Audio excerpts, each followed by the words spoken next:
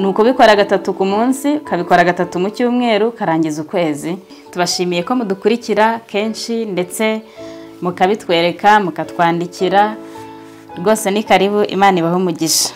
Uyu munsi tugiye kuvuga ku nkorora. Inkorora izahaza benshi noneho byagera ku batwite ukabona neza byakugoye byagera ku banaho ukabona rwose no kuryama no gusinzira kw'abandi byananiranye bitewe n'uko umwana arwaye inkorora.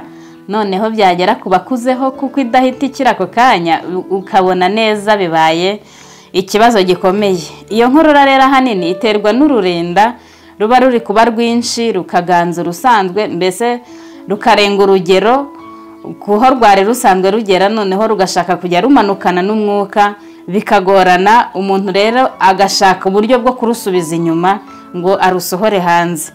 Uburyo rero bwiza bwo kururwanya cyangwa se ibyadufasha ngo duhangane n'iyo nkorora ni ugukoresha fenuwiye imwe igitunguru kimwe na karoti eshatu.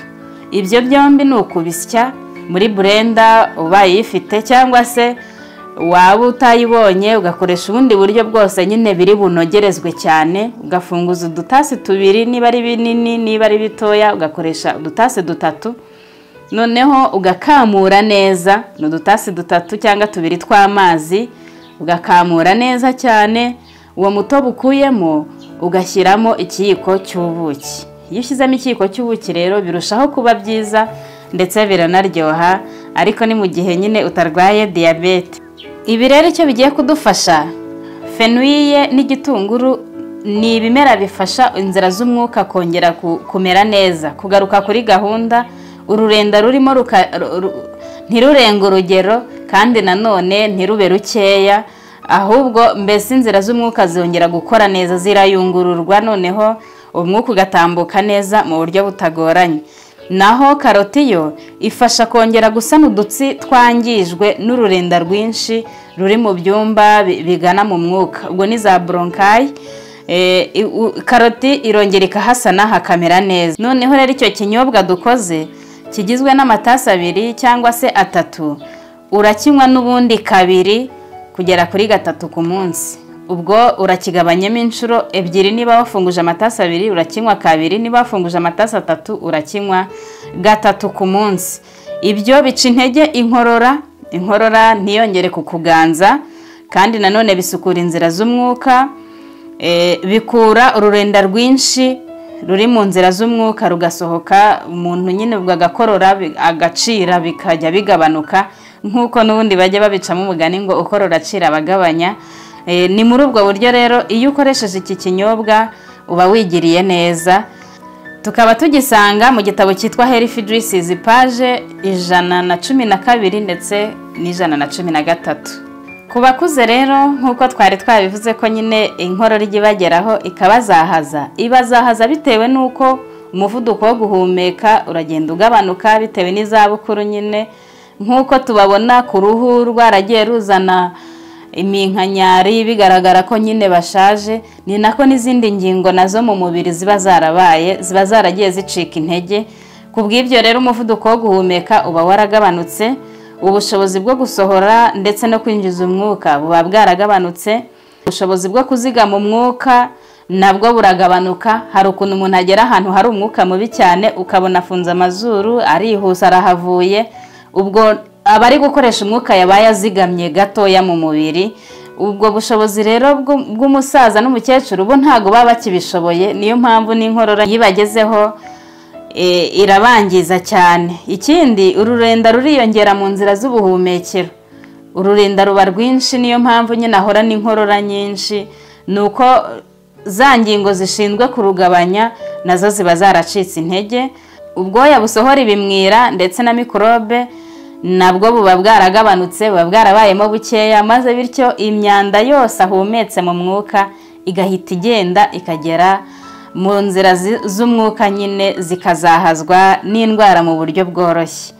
Ibintu rero byabunganira mbese ni ibiki? Nabo gukoresha uriya muti tuvuze haruguru bawukoresha ariko kandi bakwiriye no kwibanda ku byo kurya bifite ururenda rwinshi ubwo ni nka dodo epinari urudega uduhaza duto duto tugira amazina menshi agiye atandukanye amazi menshi ashyushye arimo indimu n'ubuki ubwo ni mu gitondo wenda cyangwa se hakonje kuyamuha byarushaho kumufasha.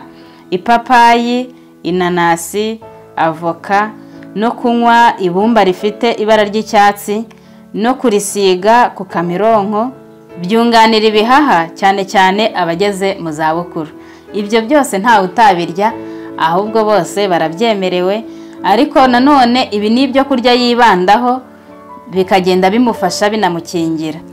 Indwara z'ubuhumekero rero zijya zizahaza benshi ariko noneho hari n'imiti ibiri rusange dushobora kwifashisha. Igihe uzahajwe n'indwara z'ubuhumekero fata ubuki ikiyiko kimwe wongeremo ifu ya time ikiyiko kimwe akayiko gato k'ibumba ry'icyatsi kibisi hamwe n'ikiyiko kimwe cy'umutobe w'indimu vanga neza ujundike unyunyuze buhoro buhoro gatatu ku munsi umara iminsi irindwi. Mu gihe ujya uzahazwa n'indwara z'ubuhumekero. Ubwo indwara z'ubuhumekero ziba zivuzwe hano ni nyinshi. Harimo amasinezite harimo asima harimo ibimwira indwara z'ibimwira zirimo ibicurane nyine ndetse n'iyi nkorora tuvuzeho. Wakwifashisha iyi miti maze nawe ukongera gutuma ubuhumekero bwawe bukora neza. Ikindi kimera ni okra gombo na yo yadufasha. Iyo itetswe ururenda rwayo rukingira ururenda rwo mu muhogo mu gifu no mu mara. Ubwo abakunda kuyiteka mu birungo cyangwa se n'aho mwagiye mubona tuyiteka ni nziza kuyikoresha kenshi ariko noneho biranashoboka ko wayiteka yonyine ukayitogosa rwose ugashyiramo akunyu ka noneho ayo mazi ukayanywa. Nk'uko n'ubundi hano babitubwiye ngo ushobora kunywa itasi imwe ishyushye ku munsi cyangwa se ukayijundika. Iyo umuntu yajunditse ibintu akenshi ntabwo abimera ahubwo arabicira. Niyo mpamvu batubwiye ngo ushobora kwiyemeza ukirirwa uri kuyijundika na yo yagufasha kuvura indwara zifata mu muhogo. Ibyo byose rero twabikoraga mu gitabo cyitwa uburezi n'imirire myiza. Paje ya mirongo ine n'umunani paje ya mirongo itanu na gatandatu.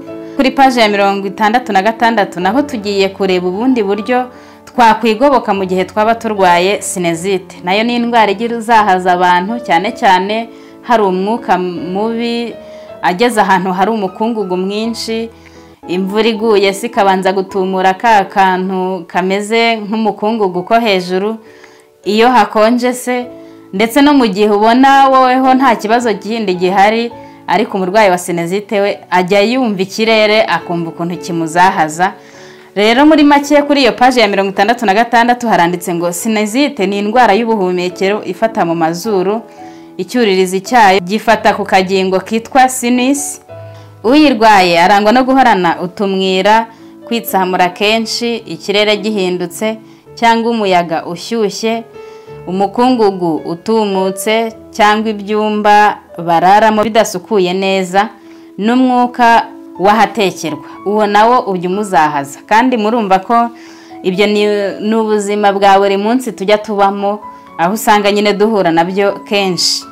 Rero iyo umuntu ayirwaye mu gitabo cyitwa herifu juyisizi paji ijana na cumi n'ijana na cumi n'imwe baturangiye ikinyobwa cyadufasha guhangana n'ubu burwayi bwa sinezite ni ugufata radi enye igitunguru kimwe ndetse n'inanasi ukabisya ukoresheje burenda wamara gukora uwo mutobe wabyo ukongeramo ikiyiko kimwe cy'ubuki maze ibyo ngibyo ukuyemo ukayinywa kimwe cya kabiri cy'akarahuri ukabikora kabiri kugera kuri gatatu ku munsi.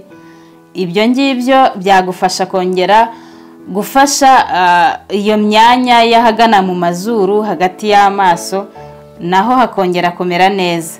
Icyitonderwa wirinda amata ko ni utuji twa buri kanya. Umuntu aba yaramenyereye kujya kugura utuntu dufunitse tunyobwa. Ni byiza kutwirinda mu gihe cyose umuntu afite ikibazo cy'amasinezite kuko byongera urwo rurenda. Mu tunyama twa sinisi maze bigatuma tubyimba ndetse tukamera nabi nyine. Kandi umumaro watwo ntugerweho dore ko natwo tudufitiye umumaro ukomeye cyane. Wo gushyushya umwuka mu gihe twinjije umwuka ukonje ndetse no kuwukonjesha mu gihe twinjije ushyushye cyane ushobora kwangiza izindi nzira zo mu bihaha. Undi muti rero cyangwa se mu buzima bwa buri munsi mu gihe wakoresheje uyu nguyu ni byiza gukunda gukoresha karoti cyane kuko ikize kuri vitamine a. Hiyongeyeho kuvangisha ibumba amazi y'imboga rwatsi ukabisiga ku mugina w'izuru uhereye hagati y'amaso ukageza ku zuru ugasiga no ku ijosi cyane cyane ku kamironko kose bikamaraho isaha imwe ukabikora kabiri kugera kuri gatatu ku munsi ndetse ukabikora iminsi icumi kugera kuri cumi n'itanu. Ibyo byagufasha kongera gutuma uba muzima igihe nibura wazahajwe n'ubwo burwayi.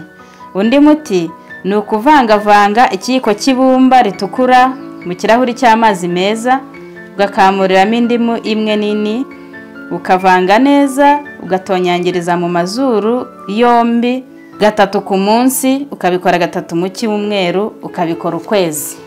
Ni ukubikora gatatu ku munsi ukabikora gatatu mu cyumweru ukarangiza ukwezi.